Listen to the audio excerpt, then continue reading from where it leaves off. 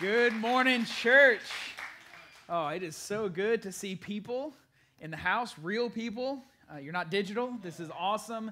Uh, Church Online, we are so glad that you are here with us, that you chose to uh, be a part of this service, this Father's Day. Um, dads, hopefully you're enjoying uh, maybe a delicious breakfast right now, brunch, whatever that might be. Uh, or maybe you're already out on the boat, and because we're doing live service, you've got it streaming out there too. That's cool. Wherever you're doing church, uh, we're happy and we are glad that you uh, are here in the building with us today. Again, my name is Anthony Quintieri, one of the pastors here, and um, I'm honored to be able to come and give uh, Father's Day message again. Uh, I think it was last year and maybe even the year before, just the way that the timings worked out. Um, but I love uh, the way God works, and uh, being a father has definitely um, one of the things, if not the thing, I wanted to be when I grew up. So, you know, you ask kids, what do you want to be when you grow up? My answer was typically a dad. Like, I was excited to have a family and kids and, um, and all that kind of stuff. And so I've been blessed with that. Uh, Jennifer, will you uh, put my, my family up there for me? So there's my fam. how young I look. Holy cow. Uh, we got my kids, my beautiful wife, Catherine, in the top there, Paul and Caroline my little fishing buddy there, some old pictures. Um, over on the right side, my, my grandfather, old Grandpa Vito. Uh, man, what a, what a great guy. What an awesome uh, just father figure and role, role model in my life. Uh, just his love for Jesus was amazing, amazing. Love my kids. Jennifer, you can go on to the next slide there. Um, a little more recent now. Um, definitely look a little older, definitely more beardy. Um, but here's our, our quarantine life. Anybody recognize anybody anybody else in here experience that? You know, waking up early in the morning. We got kids doing digital school. Anybody who's who's excited to be done with the digital schoolwork? Yeah, lots of parents in the house. I'm sure you at home are over, we're over it. And Summer's here says it him, himself. He says, "Teacher." Um, so this is somebody asking Jesus, "Teacher, which is the most important commandment in the law of Moses?" Jesus replied, "You must love the Lord your God with all your heart." All your soul, and all your mind. This is the first and greatest commandment. A second is equally important love your neighbor as yourself. Love your neighbor as yourself. But what I love that Jesus did is he made it very clear as we go back in these verses, right? The first thing, before we can really love each other, before we can care even for our spouse, our husband, our wife, or our children, uh, or the people, Dream Team, who, who are walking through our parking lot and coming into our doors, the first thing, it starts with loving God with all of our heart. Right? We've got to give Him all of it, not some of it, not our Sunday morning hearts, not our Sunday morning and our weekly life group hearts, but all of it. That is what God is after right? And so, uh, as we think about doing this well and, and being in relationships, um, Paul continues on in Galatians uh, chapter 5, verse 16 through 21. Uh, on the screen here, we have verse 18, but I'm going to start in 16. It says, So I say, let the Holy Spirit guide your lives. Then you won't be doing what your sinful nature craves. The sinful nature wants to do evil, which is just the opposite of what the Spirit wants. And the Spirit gives us desires that are the opposite of what the sinful nature desires. These two forces are constantly fighting each other, so you are not free to carry out your good intentions. But when you are directed by the Spirit, now we're here on the screen again, you are not under obligation to the law of Moses. When you follow the desires of your sinful nature, the results are very clear sexual immorality, impurity, lustful pleasures, idolatry, sorcery, hostility, quarreling, jealousy, outbursts of anger, selfish ambition, dissension, division, envy, drunkenness, wild parties, and other sins like these. Right, I love how Paul, he finally just realized, like, I just had to stop this list. It's going to go on forever. And so he just kind of wraps it up sins like these. And so, what I, what I want us to see is that, that there is this battle going on inside of us, right? Nobody wakes up in the morning with a to do list that I'm going to harm the relationships of the people in my life. That is not our intention. There might be some people out there, but I would say for most of us, right, our desire when we wake up is to love our wives, to love our husbands, to love our children, right? To at least try to do those things. So why then, why then don't we do it? Right? I talked about my, my children. Uh, both of them just had birthdays in the last couple weeks. Um, Paul turned 11 and he just entered um, our youth group. So now I am his youth pastor, which is like blowing my mind, like just how old I'm getting, he's getting. Uh, Caroline just turned nine on Monday, and so my kids are growing up, and, and it is awesome.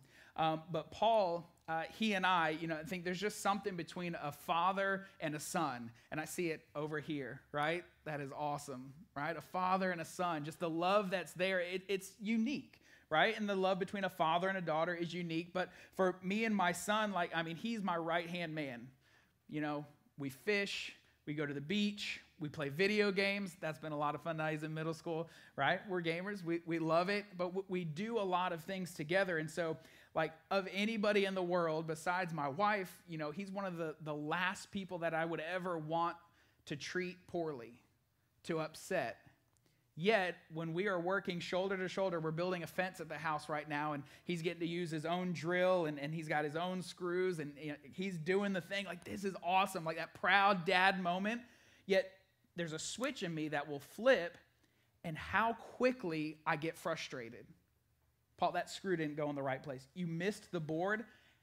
And then and then and then I go back again like this is like gonna be he's my, one of my best friends. This is my best bud. What what is going on? And and Paul makes it very clear that there is a struggle inside all of us that no matter how great we want to treat people, no matter how much we want to love our children, our spouses, even strangers, right? We want people do nice things for strangers all the time, right? Even though we have those desires, there is this desire inside of us that is not from God, and it is to serve ourselves. And so, my first point is that when we think about relationships, when we think about being with people, oftentimes the problem is we make it about us. we make these relationships about us, right? What am I going to get out of this? Right? If I serve this person, I bet they'll take care of me. Catherine and I kind of have this uh, spoken, unspoken rule, um, my wife and I, um, that whoever cooks doesn't have to do the dishes, right? Just a simple thing in our house but I'll find myself selfishly, and I love cooking anyways, but like I'm gonna make sure I do the cooking because I do not wanna have to do the dishes. Not because it's something that we've mutually agreed upon, just because like I wanna get something out of this relationship. And I have to find like in my heart, like, man, like there is brokenness in there. Like that is not the attitude I should be going into this with. It's nice that she's offered to, you know, that we do this together, but I should cook and do the dishes. And on occasion, I won't say that I do it all the time, Catherine, you know that, but on occasion, I'll do both of them, or she will do both of them often. She does a lot better job at it than I do. But there's this broken, brokenness in us because we make it about ourselves. Jesus says this in Mark chapter 7 For from within, out of a person's heart, come evil thoughts sexual immorality, theft, murder, adultery, greed, wickedness, deceit, eagerness for lustful pleasure, envy, slander, pride, and foolishness. All these vile things come from within. They are what defile you and make you unacceptable to God. So, as, as we look at this list that, that Jesus is talking about, these things that, that can come from our hearts, for me, I can look at this list and you know make my way pretty a pretty good ways through it and think oh that's not really me. Nah that, that's not really me. But man the moment paul says foolishness i'm like yeah that's me that's mine right there i'll, I'll own that one like I, I just like just do stupid things sometimes i say stupid things sometimes right and then if i really if i really consider the way that i treat people right? Sometimes I recognize that maybe I'm even more broken than that, right? Pride gets the best of me. I'm going to share a story in a minute where I had a very proud moment, right? Greed, wanting what others have. Jesus talks about murder, right? I've never murdered anybody, thank goodness. Uh, but Jesus takes it one step further and says that even if you have anger in your heart, if you get angry with somebody, it is like murder. Well, yep, Guilty as charged, right there. Been angry with my wife, angry with my children. Again, these people that they should be the last ones that I'm having these feelings towards. And so it just helps me to recognize, and I want to kind of set the stage that there is a battle going on in all of us, that there is brokenness, that the enemy, that Satan is fighting for our hearts. But the good news is, so is Jesus. And so in Galatians chapter 5, verse 22 says, But the Holy Spirit produces this kind of fruit in our lives.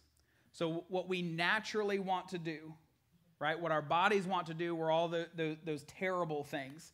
But what the Holy Spirit wants to produce inside of us is this love, joy, peace, patience, kindness, goodness, faithfulness, faithfulness gentleness, and self control. There is no law against these things. So w- when we experience this in somebody, these great things, it is the Holy Spirit, it is God working in them. It is not them themselves. If you have ever experienced anything like this from me, I pray that you recognize, and, and I pray that for my kids too, that they see that, that my love can only come because of the Holy Spirit in me.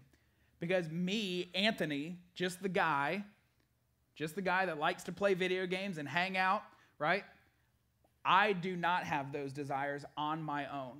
It is only because of the Holy Spirit producing that inside of me. So, so when we want to make relationships about us, the beautiful thing is that Jesus also wants to make it about us. Right? It, isn't just this, like, I hope I go out today and I'm joyful. I hope I go out today and I, and I express more of a patient attitude. I hope that I love people better, right? We're not putting it in, in our schedules, you know, we're not setting reminders. Uh, love at 11:15, got it. Patience at 11:20, right?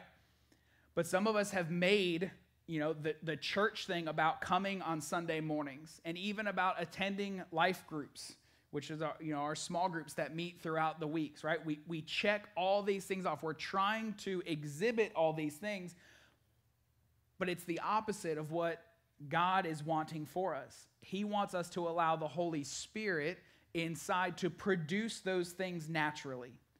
So if you find yourself struggling, like I do often, wrestling with right and wrong, loving and not loving, if you find yourself in that, know that it is a good thing. It is a good thing that you are wrestling with that. That shows that the Holy Spirit is doing what he needs to do inside of you to produce the fruit that is going to show others that you care for them, that you love for them. Dads, that we that we care for our children, that we want what is best for them. That struggle is a good thing, a very good thing in Titus chapter 3, verse 5. This is another letter that, that Paul wrote um, to Titus, who was kind of overseeing and, and encouraging churches in a particular area. Says, He, as in Jesus, saved us not because of the good things we did, but because of His mercy. He washed away our sins and gave us a new life through the Holy Spirit. He gave us a new life Jesus' desire is to give us a new life, to give us the ability to love well, to have joy, to have peace, to have patience, right? He wants to produce that in us because on our own, we cannot do it. We cannot do it on our own. And God knew that from the beginning when Adam and Eve were first created and they first sinned, it separated us from the love of the Father. It separated us from being in his presence right? We were created in his image. But the moment sin entered the world, everything went haywire. Adam and Eve's children started killing each other, right? They started making these relationships about themselves. There was selfishness that took over. And ever since then, this is the battle that we are fighting. But God didn't leave us alone to do it. He sent Jesus to die on the cross, to live a perfect life, to die on the cross, and to be risen so that way we could have that ability to become back, to come back into the relationship with Him that He has wanted from the beginning. And so, so as, as we recognize Jesus making it about us, um, I want to continue into Galatians chapter 5, verse 24 through 25, it says this Those who belong to Christ Jesus have nailed the passions and desires of their sinful nature to his cross and crucified them there. Since we are living by the Spirit, let us follow the Spirit's leading in every part of our lives. So we're called to follow the Spirit's leading in every part of the lives and of our lives. And if I'm being very honest, right, I do not do that. And I haven't really come across many people uh, who do, but I have come across some who, who do a better job than I do. And, um, and, and as I think about this, since we are living by the Spirit, let us follow the Spirit's leading in every part of our lives. Um, as I was praying about the message and sharing uh, a story came to mind, more of a, person, a friend of mine. Um, he's sitting in here today, and uh, he approached me a few months back. We met at the end of last year and kind of hit it off and, and, been hanging out. We've run a Spartan race together, and, um, and I've just enjoyed uh, kind of sharing life with him. We play golf. He's better than me. Um, I'll just go ahead and throw you know that out there. Um, I know it. Yep, I see you. I see you. And uh, but something that he did um, inspired me in a way because I think about like what do we do? So if we if our natural tendency is to not do the right thing, like like what what do we do? Okay, and first we need to invite Jesus into our hearts. Like we we need to start there, but but Jesus doesn't make us just do this on our own. He puts people in our lives, and so um, what my friend did is he recognized that there were some things in my life, uh, and I'll get here in a second. But there are some things in my life as a as a father as a husband, as a leader, and he said, Hey, can, can we have coffee together? Can we just meet weekly? Like, I see these things in you. Uh, and then that, that was the moment that, remember back that first point, relationships, we make them about us, right? He sees these, and I'm like, Oh, yeah, I would love to have coffee and tell you about how I do all the things. And so as that, that first, you know, coffee we had and as we're, we're talking, I start to realize like this pride thing is rising up in me right? That, that I'm making this about me. And I think about that with my children too, right? These first disciples that I, that I am calling to make, right? There's a pride thing that rises up inside of me. But what, what I want for, for my buddy Austin to see, and what I want for my children to see, and what I want for the students in our youth ministry to see is not just how much Pastor Anthony, or not just how much Anthony cares for them, but how much our Father in heaven, how much Jesus cares for them. That is my call. That is our call. As Pastor Josh said, as we're moving out on this mission, the mission is not moving the mission of Church on the Rock forward. Thankfully, we attend a church and we are members of a church. We are a church family that is aligned with the mission of God. That is what we are doing.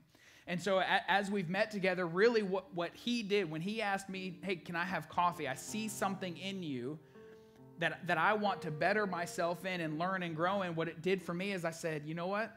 I need to be doing that better. I need to be surrounding myself with people who are a step ahead of me or many steps ahead of me. In the Old Testament, they talk about the ancient paths, right? People have experienced God and they've followed God and, and they've done things well because they've been in a right relationship with them. And I recognize that for myself. Like, man, the moment that pride rose up, like, I need to spend some time with some people that can help take me down a lot of notches. And so I thanked him for that, but it helped me remember that, that I had this responsibility as a father to my children, right? That those of us here in this room, that we have a responsibility to each other. We're called to make disciples, we're, we're called to go out. And so the, the beautiful thing here that these relationships that we have that, that we are so broken and torn like we make them about ourselves. But then we said jesus comes in and, and he makes it about us. He came to rescue us. And and even further than that god our father in his mind it's always been about us. From the beginning. It's the reason that we were created is because he wanted to have a right relationship with us. He wanted to create us to have right relationships with each other. But it was broken, and he could have, you know, when Adam and Eve ate the fruit, when they sinned, when they broke that initially, he could have just scrapped the whole thing and said, you know what, all right, back to the drawing board, let's start over. But he didn't. He didn't. He said, no, we're going gonna we're gonna go exactly the way we're going, and I'm I'm gonna rescue their hearts. And so uh, today, uh, when I was meeting with Aaron, our, our worship leader, um, he you know, we were talking about songs, and that song "Reckless Love" is one that um, my kids and I we we sang together a lot, and uh, they're a lot smarter than me. And so I remember one time, I think we were driving down the road. It was probably my daughter. Um, she asked that, like, "Isn't reckless a bad thing? Like to be reckless, isn't that bad?" And I'm like, "Yeah, well." Hmm. And then I got a little stumped, like, okay, how how do I uh, respond to this? And um, I was fortunate enough the other day to come across um, a YouTube video of this song, Reckless Love, being played. And, and in the middle of this live thing, Cory Asbury, who wrote the song, he shares his heart and he shares really the heart of God and, and where he came up with that the title Reckless Love and, and what it means. So I just want to I want to share this I want to share this with you. He said, "So when I use the phrase the reckless love of God, when we say it, we're not saying that God Himself is reckless. He's not crazy. We are, however, saying that the way He loves is in many regards quite so. What I mean is this He's utterly unconcerned with the consequences of His actions with regard to His own safety, comfort, and well being. His love isn't crafty or slick. It's not cunning or shrewd. In fact, all things considered, it's quite shocking and might I even suggest sometimes downright ridiculous. His love bankrupted heaven for you, for me. His love doesn't consider himself first. It isn't selfish or self serving. He doesn't wonder what he'll gain or lose by putting himself on the line. He simply puts himself out there on the off chance that you and I might look back at him and give him that love in return. His love leaves the 99 to find the one every time. To many practical adults, that's a foolish concept, but what if he loses the 99 in finding the one? What if finding that one lost sheep is and will always be supremely important? His love isn't cautious it's a love that sent his own son to die a gruesome death on the cross. There's no plan B with the love of God. He gives his heart so completely, so preposterously, that if refused, we would think it irreparably broken, yet he gives himself away again and again and again and again. Time and again. Make no mistake, our sin's new pain is hard. 70 times 7 is a lot of times to get your heart broken, and yet he, God our Father opens up and allows us back in every single time. His love saw you when you hated him, and all logic said they'll reject me. He said, I don't care what it costs me. I lay my life on the line as long as I get their hearts. It's what God's been after our whole time. It is our heart. He's not looking at your church attendance on Sunday mornings. He's not making sure that because you're not comfortable because of COVID of coming into the building, are you logging on and making yourself known in the chat? That's not what God is looking for. Right? He's not looking at how many times you told your wife you love her. He's not looking at how many times you told your husband you love him. Your children, you love them right? Even those things, there's, there's no list, even no matter how great we make it sound, there is no list that God is after. What He is after is are they willing to just give me their heart and let me change them from the inside out, and then I will produce these things in them, the fruit of the Spirit. Let me do the hard work. God has been wanting to do that the whole time. Here in Ezekiel chapter 36, verse 24 through 27. So Ezekiel was a prophet from the Old Testament, and so he's, he's speaking the words of God. For I will gather you up from all the nations and bring you home again to your land. Then I will sprinkle clean water on you, and you will be clean. Your filth will be washed away, and you will no longer worship idols. And I will give you a new heart, and I will put a new spirit in you. I will take out your stony, stubborn heart and give you a tender, responsive heart. And I will put my spirit in you so that you will follow my decrees and be careful to obey my regulations. So we may try, because of our brokenness, to make relationships about ourselves. But the beauty is that Jesus came to change that, to give us the ability to make it about other people. And the great thing is here, God, since the beginning, has been after our hearts. It's what He wants most. He wants us to live a good life. He wants us to be with Him for eternity. And it starts with us inviting Him in. So there may be people here who, who have never started that relationship with Jesus, that the struggle is very real, that your flesh takes over most of the time. Nine times out of the ten, you fail, you falter, you haven't begun that relationship. But just because you haven't said the words, just because you haven't started that relationship, does not mean that God has not been after your heart. It's nothing new for people to turn their backs on God. It's nothing new for people to deny that He exists. This has been going on since the beginning of time, right? Thousands of years. We get, we get stories in the Bible, right? God's chosen people, His own chosen people that He did miracles for, bringing them into promised lands and, and feeding them out of thin air, giving them water, right? Those people, seeing these miracles happen, still turn their back on God, still go away, and yet He still sent Jesus for you and for me and for you at home. Right? He's still after our hearts. I love Cory Asbury's words, right?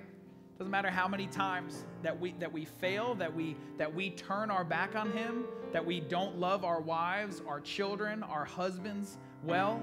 Doesn't matter how many times, he still wants what is better for us right? I have a glimpse of what that looks like with my own children.